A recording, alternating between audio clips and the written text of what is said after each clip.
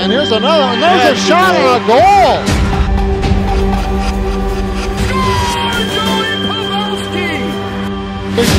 Here's Caulfield. Caulfield with an open net and a goal. Intercepted by Spash. Here's a shot.